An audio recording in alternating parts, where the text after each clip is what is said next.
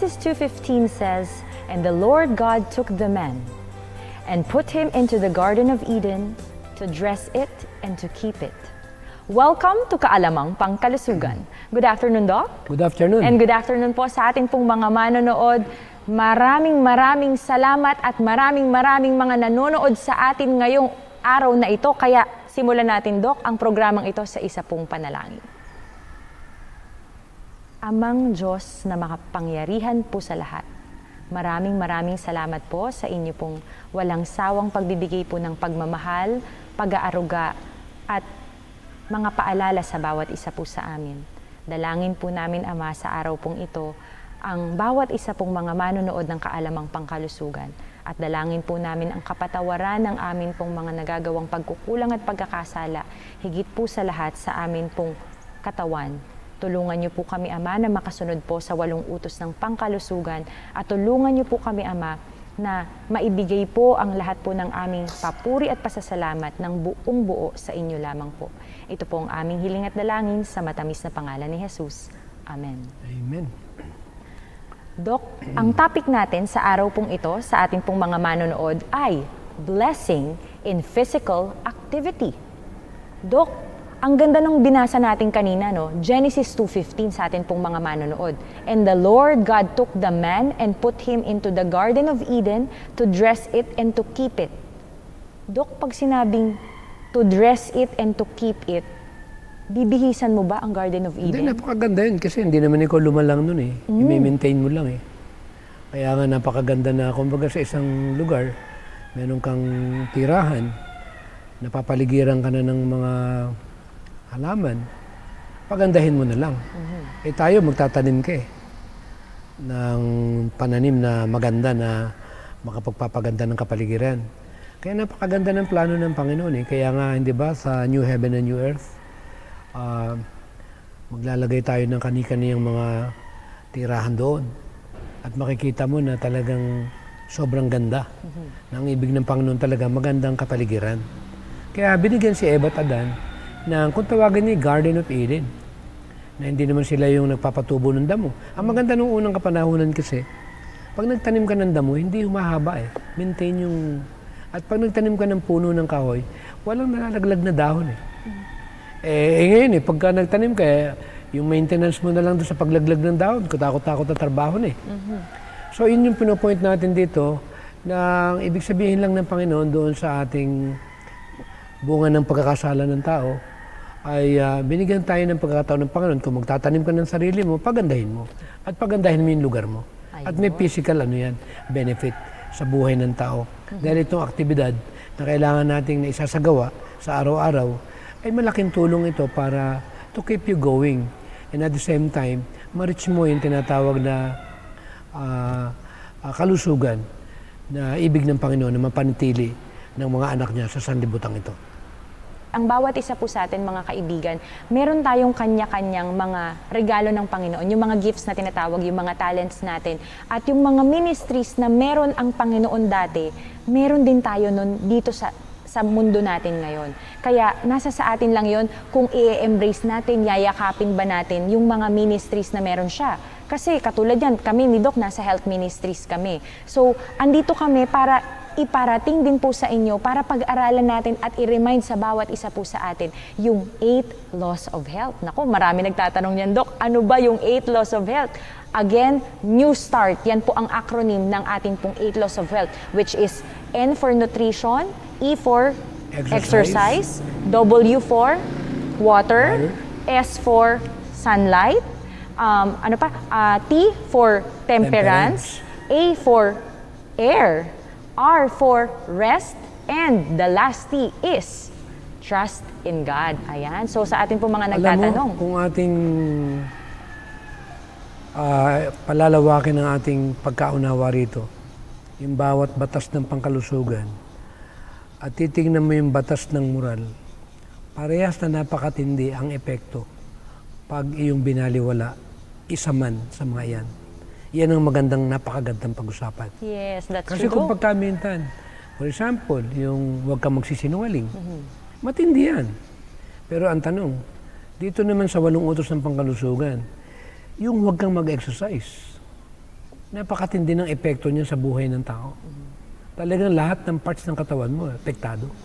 So, ibig sabihin, talagang napakatindi nung kombinasyong ito. Na ito pala ay isang regalo ng Panginoon para mabuo mo yung tinatawag na napakagandang pamantayan na dapat na makita sa mga anak niya na pinagkalooban ng ganitong uri ng tinatawag na biyaya ito. Alam mo, ibig sabihin ng biyaya, libre. Alam mo na kung ano yung ah, makabubuti sa'yo. Hindi ibibigay ng Panginoon yan sa isang um, ah, sa isang anak niya na alam niya na hindi naman importante sa buhay nila. Kaya sabi ko nga sa sarili ko, kaya pala ito pala yung pabalita na talagang dito makikilala talaga ang tunay na nakakakilala sa kanya. Dahil unang-una, magkakaib, maging kakaiba sila eh. Unang-una, pag wala kang binabiolate na eight laws of health, malusog ka. Amen. At pag wala kang binabiolate, binabiolate na moral law, banal ka. Bakit? Ano ikakaso sa'yo ng kaaway? Kaya ka nagkakasakit, gawa ng walang eight laws of health. At pag nagkasakit ka naman, lalo ka magkakasakit dun sa pagsunod sa kautusan. Kaya hindi pwedeng paglabanin o kaya paghiwalayin yan. Kaya talagang kinilala ang ating iglesia dahil tayo yung merong tinatawag na liwanag tungkol dito. Kaya habang pinag-aaralan ko kasaysayan ng mga pioneer natin, sina James White, hindi pala nag-aaral agad yan eh. Just imagine, sinabi ng kanyang uh, inan niyo sa kanyang mag- magulang, pag-aralin siya, eh hindi ka ba ikaw nahiya? Ah, 19 years old ka na, 6 years old lang yung kaklase niya. Alam ba, within one year time, sangayon sa kasaysayan, lahat ng curriculum, nakabisado niya, naging teacher pa siya. Ganun katalino yung pinili ng Panginoon na mga pioneer natin Amen. during that time. Ellen G. White, third grade. Matitindi. Kaya kung pag-aaralan natin yung pagkakabuo nitong tinatawag na ah, organisasyon, walang iniwan doon sa pinili ng Panginoon ng mga disipulo. Isa lang ang sumablay sa kanila. Pero dito nagpatuloy yung tinatawag na early Christians. Kaya nung, kung malalaman, kung pag-aaralan mo yung kasaysayan nila Joseph Bates, nila John Lapborough, yung mga history nila sa kasaysayan, magugulat ka. Talagang selected talaga. Talagang humble sila. Talagang meron silang tinatawag na matinding ah, ah, burden at desire kung paano magawa nila yung katungkulan nila. Yun din ang hinahanap ng ating Panginoon ngayon. Kaya pala itong eight laws of health na ito, nung ibinigay ito, Itong tinatawag na bahagi ng pangkaalam pangkalusugan, ang pinili niyang pagkalooban ay si Propetisa Ellen G. White na walang pinag-aralan, pero ginawa niya ang kanyang katungkulan, kaya nakaabot sa ating kapanahunan. Amen. Kaya meron tayong healthful living. Amen. Nakakalungkot ito. Paano kung contrary dito yung pamumuhay mo? Ibig sabihin yan, wala sa iyong pangako ng blessing na pinangangako niya doon sa mga susunod sa kalooban niya. Kaya pagpalain daw yung mga masunurin at kanyang palalaguin.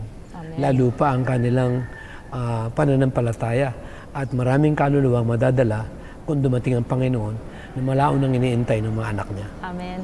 Alam mo, Dok, alam mo, habang sinasabi mo yan, no, sa atin pong mga manonood, may, nag, may nag-comment sa atin, ang sabi dito ni Jenny Campilianos, ito yung panalangin ko talaga sa, ito yung na, nananalangin ako habang binabasa ko to at nagsasalita si Doc. Sabi niya kasi, thank you Doc and Sister Glad, I'm suffering po sa acid reflux. Nang dahil dito, naintindihan ko yung walong, yung eight laws of health and asking forgiveness to the Lord sa pag-abuse ko ng kanyang templo na binigay sa akin.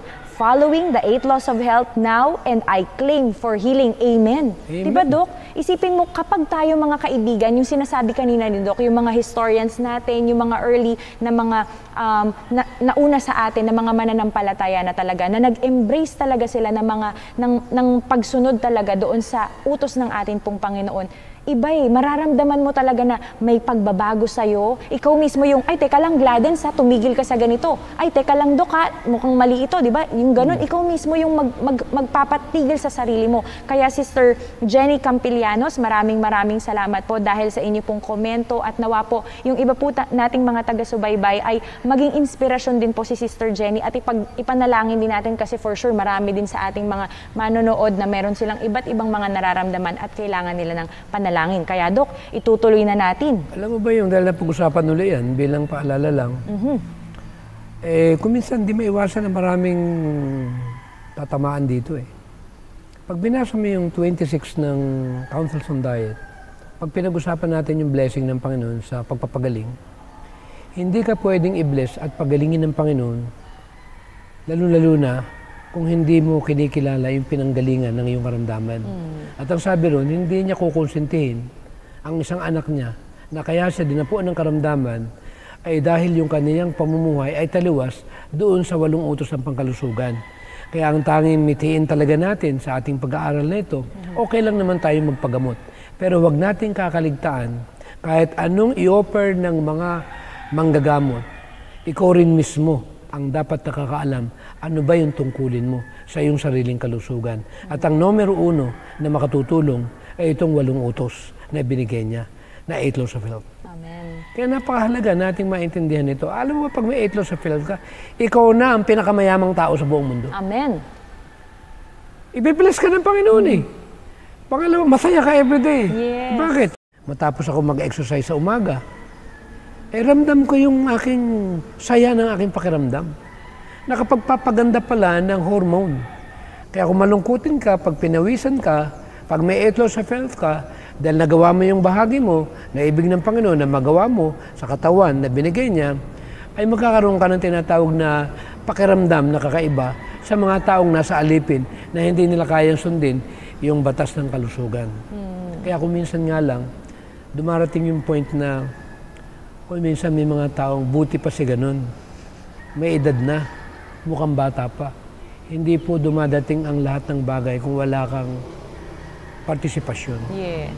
Kaya kung gusto po ninyo na maging malakas ang katawan ninyo at ma-enjoy ninyo yung kalusugan ninyo, ang tangi po namin mairirigalo sa inyo, ang sabi nga ng mga disipulo, money and gold. Ano nga, we have none. I don't know if I'm right. Yes. Ang, ang salapi at ginto ay wala kami. Pero meron kaming 8 laws of health Amen. Amen. na may donate sa inyo. Kasi kung magpapa-hospital kayo at malaking gastos po, yung pang ah, babayaran ninyo, ang unang donation po namin na gustong itulong sa inyo, yung walong utos ng pangkalusugan. Amen. Thank you so much, Dahil Doc. walang sakit Yes. na hindi kayang gamutin yan. Eight Doctors. doctors na siyang kailangan ng napakaraming mga Pilipino. Amen. Thank you so much, Doc. No? Alam mo, talagang very timely yan, Doc. Kasi, alam mo, Doc, meron tayong mga kaibigan na meron tayong mga kaibigan talaga na, naka, na, na who are suffering sa mga different kinds of diseases. Meron tayong mga kaka-recover lang sa ospital katulad ni Tatay Roberto, ah, si Tatay Roberto Arellano, tapos meron ding mga nagkaroon ng flu si Brother RJ Arellano, gayon din yung tatay ni ah, na from recent accident din yung tatay ni Jam Malabrigo na talagang kailangan din natin ipag-pray kasi lalo na ngayon tag-ulan dok, bare months na. Kaya talagang kailangan talaga nating ano, ingatan yung sarili natin lalo na dun sa mga nagkakaedad dahil madulas ang daan, tag-ulan, eh, ang ba? point ko naman dito, eh, kahit anong vaccine ang ilagay sa katawan mo, eh, kung wala ka namang 8 laws of health, mali yung kinakain mo, Mhm. magiging pabigat ka pa rin sa mundong ito. Kaya ang tanging challenge natin dito, huwag lang yung sa bakuna tayo umasa. Yes. Tulungan din natin ang gobyerno. Na ibig sabihin, ituro natin lahat ito.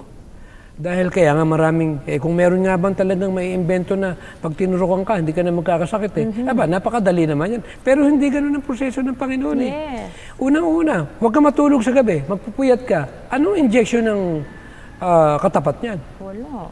Ang injection diyan, kailan turuan ka na matulog ng maaga. Eh anong dahilan? Gadget. Oh, for example, alam mo na sa kamay nilaan, o, pag-aralan natin mamaya, kung ano yung numero uno na problema kung bakit napakaraming nasa hospital. Na ito po yung sikreto kung bakit maraming dinadapuan. But anyway, nagiging ah, energetic na ako kasi pag pinag-uusapan natin ng 8 laws of health, Nagiinit na. excited talaga ako. Yes. Dahil pag ito'y na-deliver sa kinauukulan at naintindihan Mhm. ng ating mga kababayan, lalo-lalo na sa mga namumuno dito sa ating sariling bansa. Mhm. Ako'y naniniwala ang Departamento ng Pangkahulugan, Pangkalusugan ay ating matutulungan para ma-minimize ang mga Pilipinong nasa ilalim ng karamdaman. Amen. Aba, napakahirap kaya yung makonfine sa hospital. Totoo, Dok. Ang dami mong babayaran pagpasok na pagpasok mo pa Ay, lang. hindi lang yun. Pag namatayan pa, napakalungkot yan. Oo, isa pa Mali bang may problema ka sa brain Alam mo ba ang mga tao ngayon, napapansin ko, parang ordinaryo na lang. Pag namatayan, bali wala na. Totoo, Dok. Eh ako nga, sa totoo lang, nung yung kapatid ko, nung namatay, tinamaan ako ng chikungunya. Tatlong buwan ako nakahiga sa, kal- sa kalungkutan. Kaya masama pala yung malungkot. Oo, Dok. Magkakasakit ka pag malungkot ka, Dok. Eh napakahirap talaga. Yung nangyayari ngayon, talagang para bang ang mga tao ay naging immune na. Para bang, eh namatay eh, so what? Pero may ito sa pill tayo. Huwag Yes. tayong papayag, mga kapatid. Totoo, Dok. Let's do it together. Share it, give it, and make sure na ibigay natin sa kanila yung liwanag nating ipinapaabot sa ating mga kababayan. Amen. Thank you so much, Doc. Alam mo, Doc, gusto ko na mag- mag-hi kay Sister Jane Caranyaga ng Pasay City. Maraming maraming salamat. Alam mo, Doc, talagang nilapitan niya ako. Hindi kami magkakilala, pero nilapitan niya ako nung, nung, nung minsan na sabat sa, sa church. Tapos sabi niya sa akin, Sister Gladys, may question ako kasi nangangati ako ganito. So may meron siyang parang allergy na nararamdaman sa kanyang katawan. Pero yun, pinayuhan ko siya and sabi niya, naku, yun pala, yung mga dairy pala, yun, pa, yun pala yung isda, yung manok, yun pala yung mga nakakapagko sa atin ng mga, ng mga katikate. Kaya iwasan po natin mga kaibigan para maiwasan po natin yung mga pagkakasakit natin, especially kapag yung nangangati-ngati na tayo. Kasi sa kinakain po natin yan, tandaan natin kung ano yung pinapasok natin sa bibig. Sabi nga ni Doc, talagang yun po dapat yung tigilan natin mga kaibigan. Kaya ito na, tutuloy na natin, Dok. Alam niyo po ba mga kaibigan ay nais po naming ibahagi po sa inyo ang nakasulat po sa The Faith I Live By, page 232, paragraph 2. One of the first laws of the being is that of action. Every organ of the body has its appointed work, upon the development of which depends its strength. The normal action of all the organs gives vigor and life. Inaction brings decay and death. Isipin mo, Dok, dapat pala gumagalaw ang tao. Kaya papasok dito yung ano eh, yung physical uh, exercise o activities. Kaya nga yung mga nakatira sa probinsya, lalo na kami nung maliliit pa, merong ang mga bata time para magtakbuhan eh. Ang mga bata, elementary pa lang, may kani-kaniyang garden yan eh. Ikaw yung bahala magtanim, Magtanim, dyan. oo, Dok. Hmm, natuto kami, magsasarol kami. Yes. Ewan ko, inabutan mo yan. Inabutan ko, Dok. Ah, kanya-kanya Munggo kami. pa yun. Mhm. Kanya-kanyang pili. Kung, kung mustasa ka, yung isa talong, yung isa kamatis. Oo, yung iba munggo. kami. Oo. Eh, titingnan ng tingin teacher namin yan kung sino yung pinakamaganda. May reward pa yan. Yes. May award. So, ang pinopoint ko lang dito, part ng ah, edukasyon niya na dapat na, eh, ngayon mga bata ngayon, puro gadget na lang eh. Oo, Dok, nakaupo na lang. Ah, hindi na, kami nung araw, ang laro namin, takbuhan eh. Yes. Moro-moro eh. Mm. Eh ngayon, anong laro ng mga bata? Nakakonfine. Kaya maraming mga bata yung nabubore. Hindi nila maramdaman yung normal na pamumuhay. Kaya blessed pa rin kami. Kaya sabi ko sa sarili ko, mas maganda yung buhay ng mga panahon ng aming generasyon. Masasabi ko na mas mapagmahal sa mga magulang. Ngayon ng mga kabataan, bihira na yung pagpinayuhan ng magulang Makikinig. ay mapapasailalim sa kanilang ah, supervision. Kaya kaya natin nabanggit ito kasi pag ang tao ay walang exercise, lahat ng sakit hindi mo kayang pigilan. May quotation din si Miss White dyan. Nagkakaroon ng morbid condition. Yes, totoo, Dok. Kaya dito, di ba, yung, yung binasa po natin, no, dun sa libro po ng The Faith I Live By, sabi doon ay, in action brings decay and death. So, kailangan po galaw-galaw, mga kaibigan, galaw-galaw po tayo. Oh, good. Anyway, nakita ko yung quotation na yun. Ang sabi, neglecting to exercise, page 28 ng Healthful Living, the entire body, neglecting to exercise the entire body or a portions of it will bring on morbid conditions. Inactions of any of the organs of the body will be followed by a decrease in size and strength of the muscle and will cause the blood to flow sluggishly through the blood vessels. Mm-hmm. Ano ba sa Tagalog yung morbid condition? Magkakasakit ka, Dok. Yun na nga. Pagkakasakit talaga. Kaya yung walang ginagawa yung mga bata, walang exercise, mm. eh, ano yung ating aanihin? Kung ano yung tinanim mo? Mm-hmm. Yun yung asahan mo na darating sa buhay mo. Yes.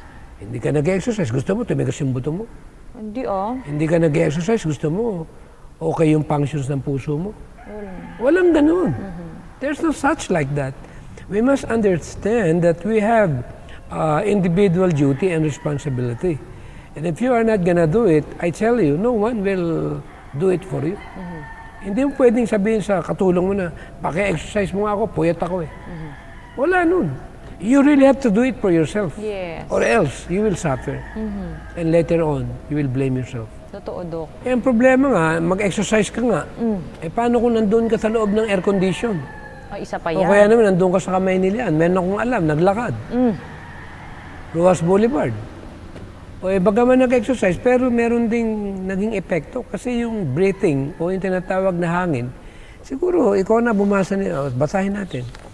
Para malaman natin kung bakit napakahalaga niyan. Mga kaibigan, babasahin po natin ang nakasulat po sa page 171. The health of the entire system depends upon the healthy action of the respiratory organs. In order to have good blood, we must breathe well. The lungs, in order to be healthy, must have pure air. Pure air. Go ahead.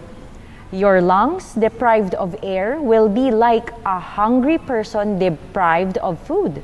Indeed, we can live longer without food than without air. Tama nga naman, Dok. Which is the food that God has provided for the lungs. So, hindi pala pagkain na ninunguya mo yung pagkain ng baga, kundi ang pagkain ng baga ay ano daw, Dok? Hangin. Hangin. At hindi basta hangin, pure, Pure air. air. Yun na ahead, nakalagay. ituloy yes. mo. Ito pa mga kaibigan, the strength of the system is in a great degree dependent upon the amount of pure, fresh air breathed. If the lungs are restricted, the quantity of oxygen received into them is also limited. The blood becomes vitiated and disease follows. It is impossible to go out in the bracing air of a winter's morning without inflating the lungs. The compression of the waist by tight lacing prevents the waste matter from being thrown off through its natural channels. The most important of this is the lungs. In order for the lungs to do the work designed, they must be left free without the slightest compression. If the lungs are cramped, they cannot develop, but their capacity will be diminished, making it impossible to take a sufficient inspiration of air. The abdominal muscles were designed to aid the lungs in their action. Where there is no compression of the lungs, the motion in full breathing will be observed to the mostly of the abdomen. Alam mo, Dok, pati yung damit pala na masikip. Isipin mo itong senaryo na ating pinag-uusapan ngayon. Hindi raw natin po pwedeng i-deprive o maharangan yung dinadaanan ng pagkain na kailangan ng ating baga. Kaya pag gusto mong patayin yung tao, takpan mo yung ilong at bibig niya. Hindi tatagal, hindi makakahinga. Kaya ang tangi kong binibigyan ng daan dito, wala namang masamang takpan ng ilong at takpan ng bibig. Pero you are depriving yung tinatawag na hangin na pagkain. Sabi nga dito, di ba? Yung Ang pagkain ng baga. ang pagkain ng bagay. Ay, eh, hangin. Isipin mo, hindi, ilan yung aeration, di ba? 1 to 2. Inhale, exhale. Exhale. Ang tanong, pwede bang 30 seconds na hindi ka mang inhale, okay ba? Hindi, Dok. Mahirap yan. Mm-hmm. Eh tayo, wag kumain ng 40 days, tubig lang, buhay ka eh. Alin ang mahalaga? Every seconds, humihinga ka. Humibig, kumakain ng baga mo. Every 10, 2 seconds, i-exhale mo. Kaya para sa akin, yung pure air, ito yung binigay ng Panginoon. Ang tanong, may bayad ba? Wala. Wala, libre. Pero ano yung binanggit dito na ito talaga yung napakalaking problema ng kalusugan pag wala ka nito? Ang tanong, dahil choice ito, matapos nating mabasa at may paalala na part ng Eplos of Health, hindi ba yung mga tao para bang naka-stuck na sila sa isang kumunoy na kahit madinig man nila, eh, hindi nila maiwanan yung lugar. Ang tanong ito, pure air ba ang Metro Manila? Hindi, Siguro, Dok. ituloy natin ang bata. Alam mo kasi, bato-bato sa langit, matindi ito eh. Ito pa lang nagde-deprive ka at natatakpan mo yung ilong mo. Cause pala ng sore throat. Totoo, Dok. Eh kung minsan, siyempre, naawa ako dun sa mga nagtatrabaho ng walong oras na may takipang mga ilong nila. Na ang tanong, anong klaseng hangin yung nakukuha nila? At paano ko ituturo itong fresh air kung tinitiran ko Metro Manila? Totoo, Dok. Talagang uuwi ako sa lugar ko. Pumunta man ako doon for emergency, mm magsishare ako o may ministry ako, pero babalik pa rin ako rito. Kaya nga mapapansin mo siguro, living testimony, eh bakit isa sa napili ko pang isang napakagandang hangin itong tabi ng lake? Yes. Eh siyempre pagkain yan. Gusto kong mapasaya yung aking, ang aking mga ah, organ. At masiguro ko, nakakain ako ng talagang pagkain masustansya na alam kong numero unong napakahalaga ito sa buhay ng bawat isa. Kaya china-challenge ko talaga ating mga viewers. Anyway, go ahead. Ang sarap pag-usapan to. Totoo, Dok. Wala tayong magagawa eh. Parang gusto kong huminga ng huminga ng huminga, Dok eh. Di ba? Kasi syempre, eh, babalik na naman kami sa hindi pure air. Nako sa atin po mga manonood. Kaya ito na po, Healthful Living, page 174 says, Careful attention and training should be given to the vocal organs. They are strengthened by right use but become enfeebled if improperly used. Their excessive use will, if often repeated, not only injure the organs of speech, but will bring an undue strain upon the whole nervous system. The delicate harp of a thousand strings becomes worn, gets out of repair, and produces discord instead of melody. It is not necessary to talk in a loud voice or in a high key. This does great injury to the speaker. The human voice is a precious gift of God. It is a power for good, and the Lord wants His servants to preserve its pathos and melody. The voice should be cultivated so as to promote its musical quality, that it may fall pleasantly upon the ear and impress the heart. But the vocal organs are strangely abused, greatly to the injury of the speaker and the discomfort of the hearers.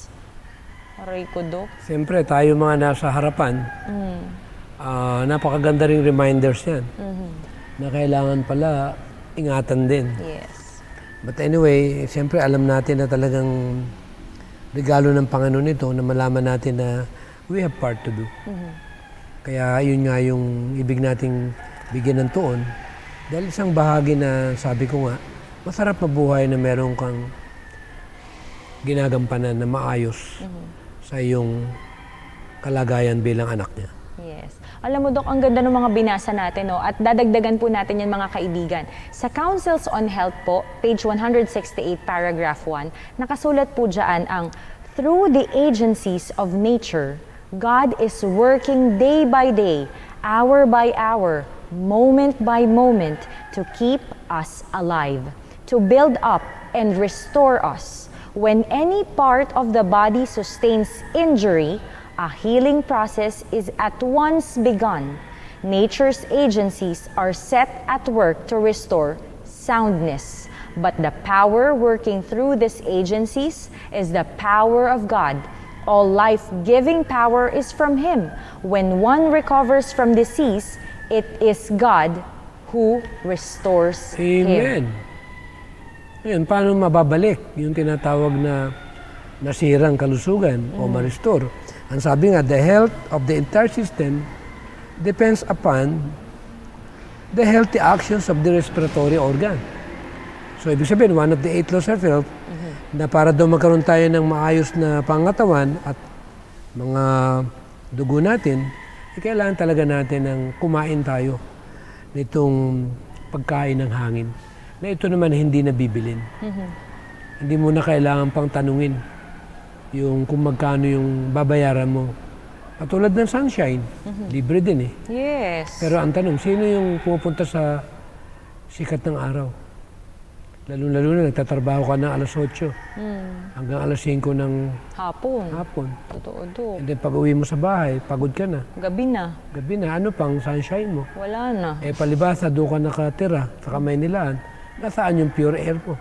Wala din. O eh, dahil nagtatrabaho ka nga ng 10 hours a day, dahil gusto mong makatulong doon sa may mga karamdaman sa pagamutan, eh ang nangyayari naman, tinatakpan mo pa yung ilong mo.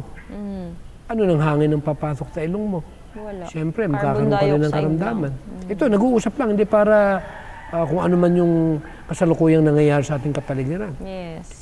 Tapos ngayon, siyempre, umaga, gigising ka ng maaga. Anong oras ka mag-exercise? Dapat umagang-umaga. O, eh, bihira naman yata yun, lalo na Totoo pagka daw. nag-double job ng overtime ka pa. Yes. Wala ka ng fresh air, Wala nang sunlight. wala ng sunlight, wala pang exercise. Mm-hmm. Tapos yung kakainin mo naman, dahil nandun ka sa kamay nilaan, puro may bomba ng gulay. Ang yung Dok, nakakaapat na dok. Nutrition, yung air, yung rest, exercise, sunshine. sun... Dok, lima na. Lima grabe. Tatlo na lang yung Ang tanong, may natitira. humihingi ba ng tawad naman kaya? Ay, may nabasa ako na ang paghingi ng tawad, Mm. eh, inaabel yung kapatawaran kung willing ka na baguhin itong mga kamalian na yung harapan na Ginagawa. ginagawa. Ngayon, for example, nadinig mo na, Mhm. Eh hinahayaan mo lang. Paano kung biglang tamaan ka ng lung cancer katulad ng aming mga Kakilala. na kilala na nang pumunta sa aming lugar ay meron ng lung cancer. Ang lung cancer, hindi ganun kadali yan. Talagang marami yung namamatay. Umiyak ka man ng umiyak. Para, paano kung wala ng kakayanan para Ma-restore. ma-restore o ma-repair ang vital organ? Yes. Kaya habang nandyan pa, Alagaan mo. ang masasabi ko na lang, umalis na kayo dyan sa kamay nilaan. Pasensya na po kayo. Para lumuwag tuloy. Totoo, Dok. Sobra na naman traffic, kung, kung Dok. nakakasikip lang kayo dyan at wala naman kayong napakahalagang bagay na ginagawa dyan, ay bawasan naman natin ng dalahin ng Metro Manila para umunti naman yung mga ah, magkakasakit dyan. Paramihin natin itong mga Pilipinong ma-healthy. Yes. Ayan. Diba? Anyway, walang ano, pasensya na po kayo. Health lecture lang. Yes. Alam mo, Dok, ang ganda ng mga sinishare natin sa atin pong mga manonood, no? At ito pa, hindi po tayo nagtatapos doon dahil ito po mga kaibigan. The Faith I Live By na book, page 232, paragraph 4 says, A proportionate exercise of all the organs and faculties of the body is essential to the best work of each. When the brain is constantly taxed, while the other organs of the living machinery are inactive, there is a loss of strength, physical and mental. Grabe, Dok. Ibig sabihin pala mga kaibigan, very relevant and very um, important yung sinabi kanina, yung binasa natin kanina from the Healthful Living na book. Kasi nga, yung pag exercise natin, hindi siya basta physical activity, kundi yung lungs natin kumakain din, nag exercise din siya kasi nilalabas natin ng carbon dioxide at nag inhale naman tayo ng fresh na pure air na oxygen naman. So, ganun pala siya, Dok. Hindi pala basta pag nagsabi ka na exercise, ay hindi, magpapaganda lang ako ng katawan, tatakbo ako, ay maglalaro ako ng ganito, sasali ako sa sports fest para maganda yung katawan ko. Hindi po ganun mga kaibigan. Ang sinasabi po natin dito ay kailangan proportionate exercise. Ibig sabihin, alam natin kung paano natin i-ehersisyo yung iba't ibang vital organs natin. So, paano ba yun, Dok? Ibig sabihin, kailangan mong huminga. Kaya kapag nandito ako, talagang pag napupunta kami dito, Dok, talagang yung hinga ko talaga, talagang sobrang lalim Eh, para, basahin pa ano, natin. Basahin mai- pa natin. ma- mailabas book, ko lahat ng mga Living, ano. 173. Ang sabi, stomach, liver, lungs, and brain are suffering for want of deep, full inspirations of air, which would electrify the blood and impart to it a bright, lively color which alone can keep it pure and give tone, the vigor to every part of the living machinery. Ano pang sabi? Many families suffer from sore throat, lung diseases, and liver complaints brought upon them by their own course of action. They keep their windows and doors closed. Sinasara eh. Eh siyempre, naka-aircon eh. Totoo, Dok. Eh, siyempre, positive ion yan. Pabalik-balik lang yan. Fearing they will take cold if there is uh, to let it in the air. They breathe the same air over and over until it becomes impregnated with the poisonous impurities and waste matter throws up through their bodies, through the lungs, and the pores of the skin. Pag sinabing over and over again, Di ba sarado yung bintana nun? Nag-oxidize yan. Kaya lang hindi mo nararamdaman. Pinalamig nung pampalamig. At ang sabi pa, marami raw pamilya yung nagsasuffer ng sore throat, sakit sa baga. Dahil sarado yung mga bintana. Kaya ako kumatulog, kahit fresh air lugar ko, bukas talaga yung bintana. Kasi ang katwiran ko, pagkain to every segundo. Natutulog ka nga, kumakain ka ng hangin eh. Yes. Eh, ikaw ba pwedeng kum- kumain ng, Tulog? ng gulay o ng kanin pag natutulog? Hindi. Hindi do. Kaya makikita mo talaga, ang hangin talaga. Kaya sabi ko sa sarili ko, "Ay, hindi ako papayag nito. Talagang pipiliin ko talaga yung lugar na kaloob ng Panginoon sa pamilya ko. Kaya since from the start, nung mabasa ko to, nasa Amerika pa ako, kaya pala yung mga mayayaman, pinipili nilang lugar, yung mga overlooking, yung malayo sa syudad. Dahil nandun pala yung tinatawag na sariwang hangin. Ayaw nila dun sa mga dikit-dikit ang bahay. Yes. Kasi wala nang hangin doon, Dok. Puro pader na. Kaya lang nalulungkot ako, bakit ang dami namang message tayo na nung araw pa, kaya nga yung Battle Creek, saka yung ano, L7 Hospital, tatawa ko sa kasaysayan nito eh. Nung daw ito eh, nagkaroon ng vision ng ating si, si Ellen G. White. Nagtaka sila, bakit doon pinili yung napakalayong lugar? Sino daw ba pupunta roon at magpapagamot? Kasi nag-drive kami doon eh.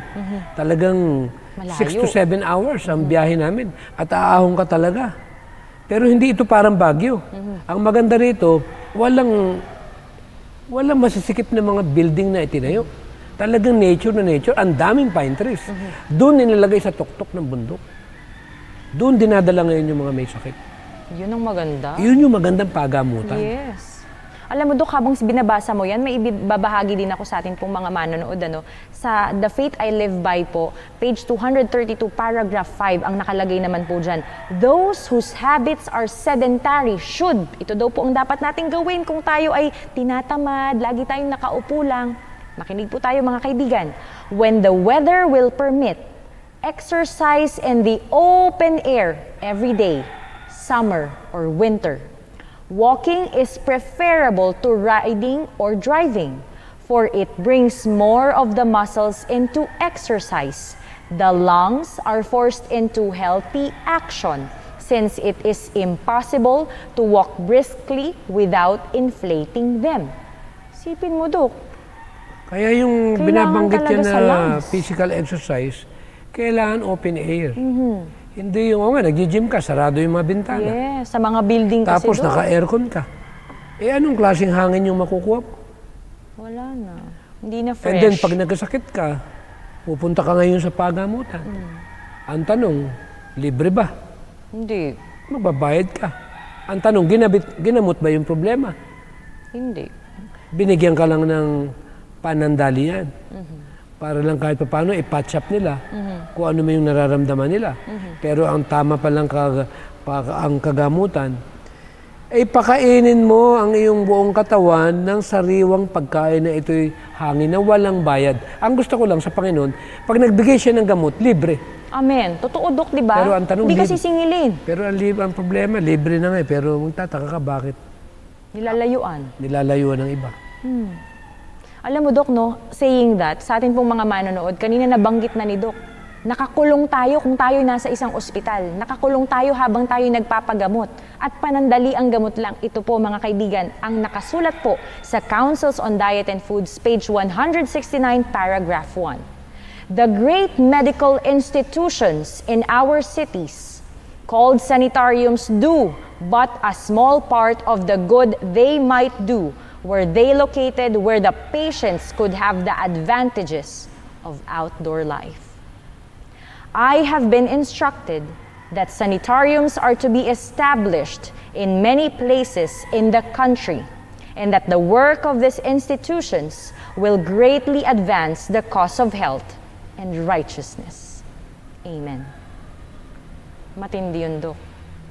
Ang pinag-usapan doon eh, away from the uh, City. pollution. Yes. Kasi gamot nga yung hangin eh. Paano mo mapapalusog yung may mga karamdaman kung pare-parehas kayo na yung hangin na kinakain ay hindi naman pala pure. Yes. Kaya sabi ko nga, hindi ganun kadaling pag-usapan ng etlo sa film. Kaya nga hindi masyadong maituro ito eh. Eh, siyempre, guilty. Pero ang importante rito, kaya nga ang panawagan ng Panginoon eh, humbleness. Tanggapin natin. Na alam naman natin talaga na tayo nabubuhay na sa huling yugto ng sandibutan. Na kailangan natin kilalanin na meron pang pagkakataon tayo na tanggapin yung panawagan ng Panginoon na ayaw niya ng mga anak niya ay sila mismo yung magsuffer bunga ng tinatawag na tuwiran na hindi nila ginagawa yung pabalita na pinapagawa ng nagbigay. Kaya I'm challenging and I'm encouraging each and every one, especially our uh, viewers, brothers and sisters, na paalala ay gamot sa tao na matigas ang ulo. Kasi pagka matagal na, matigas na ulo niyan eh.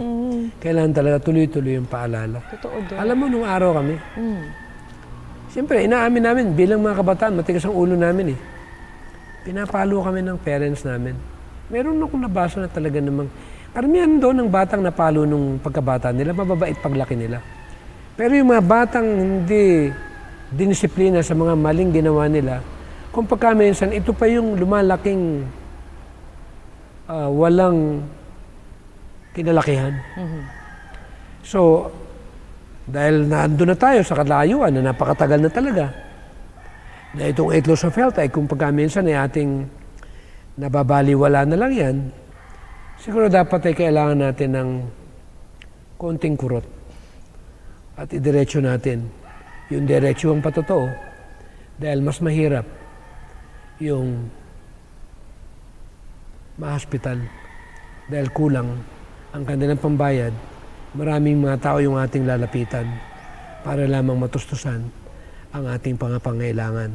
Na ito po yung pinaka-importante na isave natin yung konting naipon natin, hindi para gamitin natin sa pagbili ng mga gamot na kung pagka minsan hindi naman nawawala ang karamdaman. Kaya nga nung mga nakaraang pag-aaral natin, ay karamihan ng mga tao ngayon ay nakadepende na sa kung tawagin ni maintenance. Nagsisimula yan sa isang medication. Lalo na pag may high blood ka, kailangan mo nung maintenance. And then later on, another na naman. Hanggang sa dumating yung oras na, na nadamay na ang mga vital organ. Kaya kailangan natin talaga na yakapin ito. Kailangan nating itayo yung pamantayan ng kalusugan ng tao at saka pamaraanan na may value naman natin yung gininto ang ah, gawain na ibig ng Panginoon na makarating sa lahat ng mga tao. Ayan. Thank you so much, Doc. Alam mo sa atin pong mga manonood, no, yung binanggit kanina ni Doc na regarding dun sa pagdidisiplina ng ating pong mga anak, nakasulat po siya sa Proverbs 13 verse 24. And this is what it says. He who spares the rod hates his son, but he who loves him is diligent to discipline him. Hindi po ibig sabihin na napalo natin ang ating anak, hindi natin sila mahal. Kung hindi, binibigyan natin sila ng paalala na anak, mali yung ginawa mo eh. Anak, ito ang tamang gawin. Para hindi ka mapalo, kailangan sumunod ka. At ganun din po tayo mga anak ng ating Panginoon. Ibig sabihin yung palo, eh kailangan. Yes, Doc. Para papaano, Para madisiplina. maturuan. Yes. Eh, ang Panginoon man, di ba, dinidisiplina rin yung anak niya. Mm-mm. Minsan pinapahintulutan niya na makaranas tayo nung Kahirapan. kahirapan, bunga ng ating kamalian para malaman natin talaga na, na meron tayong dapat na gawin at ayusin sa ating buhay. Yes, because there are only two choices, Doc. The good or the bad. God or the enemy. Yan lang po ang choices, mga kaibigan. It's our choice to follow God or to follow the enemy. Fresh air or pure air o doon tayo sa pollution. Sakit, kamatayan, o mahabang buhay, kalusugan, mamili ka. Doon ako sa kalusugan at mahabang buhay. Di ba? Eh, paano darating yun kung walang fresh air? Ay, hindi darating yun, Doc. Kailangan ikaw yung gumawa ng paraan. Kaya blessed din yung mga marami kong kilala na talagang alam na, na rin nila, alam na rin naman nila ito. Na talagang kaya lang hindi kaya tayo nalulugi. Ang point ko kung bakit Alam ba na marami ng mga non-Adventist ang nag-aalisa na sa kamay nilaan? Hmm. Ang tanong, bilang mga kapatid, handa ba nating isakripisyo yung lugar na inyong nakasanayan? At magsimula na tayo humanap ng lugar na tayo magsisimula na yung tinatawag na healthful living o healthy lifestyle ay magsimula tayo kahit dahan-dahan. Ang Panginoon naman kahit medyo mabagal yung move mo, pero ang importante, yung conviction mo, na malaman niya na may purpose ka dahil ibig mo rin namang magawa mo yung bahagi mo. And that's what God's all about. That God is trying to lead us to lead us with these kinds of lifestyle na makuha natin itong ah, bahagi ng pagkalusugan. Thank you so much, Doc. Kaya alam niyo po sa atin pong mga manonood, nais din po naming ibahagi sa inyo ang nakasulat po sa page 232, paragraph 6 ng The Faith I Live By. Full, deep inspirations of pure air, which fill the lungs with oxygen, purify the blood, they impart to it a bright color and send it a life-giving current to every part of the body. A good respiration soothes the nerves, it stimulates the appetite, and renders digestion more perfect, and it induces sound, refreshing sleep. Amen. Yung mga may insomnia. Mhm, Para yung sa pala, pampaantok pala yung Yes. negative ngayon. No? yung Mhm, fresh yung air. fresh air. Oo nga, Dok. Kaya sa atin pong mga manonood, kung meron po kayong katanungan, meron kayong mga prayer request, o meron po kayong gustong i-share, i-comment po dito po sa Kaalamang Kapangkalusugan. Hindi lang yun. Hmm. Pinupurify yung dugo. Yes, totoo, Dok. Isipin mo, alam mo ba na pag nalinis ang dugo mo, ibang usapan yan. Mhm. Ibig sabihin yan, walang duming, ah, walang sakit na po pwedeng makadapo sa katawan na may malinis na dugo. Totoo, Dok. At ang isa dyan ay yung, saka yung digestion, alam ba kung pag-aaralan mo, yung physiology ng digestive system. Dito nakataya ang buong sustansya ng katawan mo.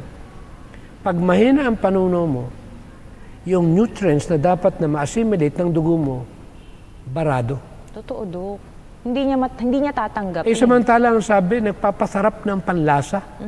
Yung mga tabang kumain at napunta ka sa tabing dagat o tabing ilog. Tapos nakakamay ka, Dok. Naku. Tapos eh, nandun ka sa sariwang kapaligiran. Lalo na pag tayo nandun sa mga lugar na nature, talagang feeling mo napaka sarap kumain at madali siyang natutunaw.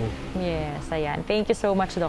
Kaya sa ating pong mga manonood sa, sa ah, araw pong ito, kami po'y nagpapasalamat dahil sinamahan niyo po kami sa isang talakayan na naman na tungkol sa fresh air, tungkol sa physical activity kasi kailangan-kailangan natin to ngayon. Lalo na, ito na naman, holidays na naman. Yeah. Nako, Doc, malamig na naman ang klima, mga kaibigan. Kailangan natin mag-exercise bago tayo kumain ng kumain ng kumain ng maraming, maraming, marami. Kasi handaan na naman Saka yan, welcome Doc. natin sila. Pwede sila magpadala ng maraming katanungan at Yes. Mm-hmm. uh, ating diskussin. At gusto ko rin malaman yung talagang handa ng lumipat sa sariwang lugar. Yung Totoo. kumain ng sariwang hangin na libre. Yun, di ba? Yan Mag-send ang importante po kayo. rito. Dito natin nakikita yung bunga ng ating ah, liwanag na binibigyan ng daan. Mm-hmm. Na pag maraming mga kababayan natin sa kamay nilaan ay ah, nagkaroon ng desisyon na lilipat sa lugar Mm-hmm. na kukuha ng sariwang hangin na libre naman, eh gusto ko rin malaman, siyempre kahit pa paano, magkaroon naman ng bunga yung ating mga sinasabi. Pinag-uusapan. Yes, Doc. Mm-mm. Yeah. Thank you so much, Doc. Kaya sa atin, sa At gusto ko ito- malaman kung Mm. ilan na yung nag-vegetarian. Uy, totoo sa din mga yan. Ako viewers din, natin. Doc. Totoo. Siyempre, yun yung nagpapalakas sa atin. Eh, na meron tayong tinatawag na ah, bunga Yes. na nakikita. Yung panahon na ating isinasagawa para sa kanila, kahit pa paano, nakapagpapalakas ito at nakapagbibigay ng sigla. Ayan. Katulad Doc, yung mga na-invite natin before, si Ate Shelly, sila Kuya Brian, yung buong family nila, sila Jared, at yung si Mrs. sa Hairdead po. Yan, maraming maraming salamat po. Dahil nag-vegetarian talaga sila, Doc. O, di ba? Amen. Mm, Amen. Sobra. Kaya, mga kaibigan, sa, meron din mga nag-send ng kanilang mga questions ngayon, Doc. Kaya, simulan natin. Ah, we'll give two questions lang po ngayon dahil talagang hindi enough yung ating time. So, sabi dito ni Baladitan Maymay, sabi niya, ah, Happy Sabat po. Ang tanong ko lang po ay, ano po ang magandang ipakain sa bagong panganak para mabilis pong maibalik ang kanyang lakas? Salamat po. Number one, dapat kainin ng mga magulang, umiwas sa maalat, matatamis, mamantika, matataba. Kumain ng maraming beans and, and green uh, vegetables at maraming prutas para makarecover siya. At kung pwede siyang mag-blend ng konting Ah, alam mo yung malunggay? Napakabilis makapagpalit ng blood yan. Yes. Kasi maraming lumabas sa kanya ng mga Fluids. ah, fluid na kailangan din niya yan. Yes. At saka mataas sa vitamin C yung atin pong malunggay sa atin pong mga manonood. Mabilis ang healing, lalo na pag mga normal delivery. Lalo na yung mga cesarean. Yon, cesarean din. Ayan, thank you po. Ito din, Doc, sabi ni ah, Veg Claire Billones Esto, sabi niya, ah, Doc, pahingi naman po ng tip, ano po ba ang dapat gawin na makakatulong para sa paggamot, ah, gamot na herbal para sa taong merong cancer? Actually, ang number one kasi, ang cancer kasi siyempre sa medical book, cellular DNA ang, ang damage. Ang importante, kumain ka rin ng tinatawag na cellular food. Ito yung mga pre-digested food para mabilis na ma-absorb kasi mahina na panunaw ng mga may cancer. At ang isa sa ginagamit namin dito, yung kung tawagin namin CA formula o ISIAC. Ito yung kombinasyon ng mga herbal na makatutulong tungkol dito. Plus itong garlic, merong anti-cancer properties yan. Vitamin C, marami tayong kalamansi o lemon, malaking tulong dun yan. Pero ang pinakamaganda, huwag pakainin ng cancer cells. Ayun. I-deprive sila. Ang pagkain ng cancer cells, lahat ng acidic na pagkain, Hmm, yung matatamis. katulad ng karne, Yes. Prito. any flesh or material, protein material should not be uh, eaten. And also at the same time, yung mga acidic, katulad ng sugar, lahat ng processed food should be out. Plus, kailangan talaga ng pure air. Kasi ang nagre-revive ng ating blood at nagbubus ng immune system, eh itong fresh air. Kaya ang aming number one in advice ay punta sa tabing dagat o sa mga sariwang hangin. Tamang kapaligiran. At huwag isasara ang bintana, matulog na tumatanggap ang ilong natin ng sariwang hangin para makapasok sa ating katawan. Ayan, thank you so much, Doc. Thank you din po sa nagtanong at kasama po namin kayo sa amin pong mga prayers. Ang red clover nakakatulong. Saka itong tinatawag na uh, Podiarco, PDA. Mm, PDA pala ang ano no, acronym. Ayan. Sabi naman, ito Doc, last na question natin. Sabi po ni Adriatico Belen, sabi niya, ang olive oil po ba ay pwedeng gamitin sa stroke patient? Yung husband ko po kasi is 2 years na na-stroke patient mula, mula nang na-stroke. Ah, 2 years nang na-stroke yung husband niya, Doc. So, pwede daw ba yun, Doc? Kung ito ay cold press at hindi lulutuin, Ayun. Hindi, da- hindi dadaan sa init. pwedeng i-gawing dressing ito o sa, Salad. sa salad. Yung iba, hinahalo ng konti sa kanin. Tapos lalagyan ng konting Himalayan salt. Kung walang ulam, ulam na yun. Yes, oo, totoo. Di, di ba, Doc? Iba yung lasa. Ayan. Alinamnam kaya. Mhm. Yung alam mo, kaning mainit-init, lagyan mo ng konting olive oil. Lagyan mo ng Himalayan salt. Mhm. Naku, ganado Eh, ka parang niyan. sinangag. Totoo, Doc. Pero... Hinay-hinay yung, lang. Yung isang tasa, ah, sandali lang ubusin yan. Kaya hinay-hinay din po, baka maparami po yung kain nyo. Yung, lalo na kung yung kanin nyo po ay kaning puti, naku, mataas po yan sa sugar. Kaya ingat, hinay-hinay lang po tayo.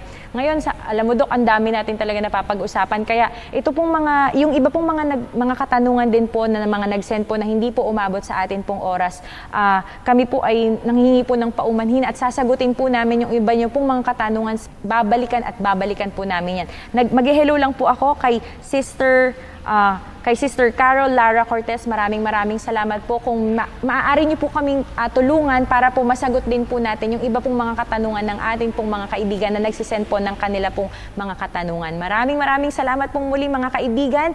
At syempre, Doc, ito na naman nga ang talagang magpapaalam na tayo pansamantala dahil next week po ulit ay abangan nyo po ulit ang kaalamang pangkalusugan. Kaya sa atin pong pagtatapos, nais po naming ibahagi po sa inyo ang nakasulat po sa page 232, paragraph 7 ng The Faith I Live By. Jesus was an earnest, constant worker, never lived there among men another, so waited with responsibilities. Yet his was a life of health, physically as well as spiritually. He was represented by the sacrificial lamb, without blemish and without spot. 1 Peter 1:19. Amen. In body as in soul, he was an example of what God designed all humanity to be through obedience to his laws. Para po sa ating pong pagtatapos, tayo po'y manalangin. Dakila namin Diyos na nasa kaitaasan namin pong ibinabalik sa inyo ang pagkilala at pagpapasalamat sa ginintuang katotohanan na inyong pinagkaloob na siyang magiging kapamaraanan kung paano kami ay makalaya unang-una sa banig ng sumpa ng karamdaman na siyang nagiging dahilan kung paano nalalayo kami sa bahagi na aming masunod ang inyong dakilang kalooban. Tulungan lahat kami, Panginoon, na aming mapalagahan lahat ng ito. Lalo-lalo na ang batas ng pangkalusugan na inyong pinagkaloob. Dahil ayo, alam po namin, Panginoon, na ang tanging ninyong mitiin sa amin ay maabot namin ang pamantayan na makapagbigay luwalhati kami sa Panginoon na siyang nagkaloob ng lahat ng bagay. Patnubayan niyo po ang lahat ng mga nakikinig at tumatanggap ng pabalita na may bahagi sa pangkalusugan. At gayon din naman ang programang ito, Panginoon, at ang inyong mga lingkod na kami gumawa na may katapatan na wag namin tingnan ang aming sariling kapakinabangan, kundi lagi namin tingnan, Panginoon, ay maging katama kami, Panginoon, na maglilingkod, lalo-lalo na na alam namin, Panginoon, na malapit na kayong bumalik sa sanlibutan. Pagpalain lahat kami, Panginoon, at patawarin sa lahat ng aming mga. Pagalangin po, Panginoon, lahat ng mga nakikinig, lalo-lalo na pag may karamdaman pampisikal at kasama na rin ang pang-espiritual. Bigyan kami ng presensya ng Banal na Espiritu na siya magpapaalala sa amin na kami hindi pangkarniwan, pinili niyo kami dahil ibig po ninyo, Panginoon, na matapos namin ang mithiin na inyong ibig na ipagawa sa amin. Maraming pong salamat, Ama, sa pagkaloob ng pagmamahal na patuloy naming nararamdaman at pong sa amin namin nalangin sa pangalan po ng Panginoong Isus. Amen. Mga kaibigan, samahan niyo po kaming muli next Saturday, 4 p.m. po dito po sa Hope Channel North Philippines. Ito po si Gladys Panuelos, kasama pa rin po ang naturopathic expert na si Dr. Mateo para sa Kaalamang Kaalamang Pangkalusugan.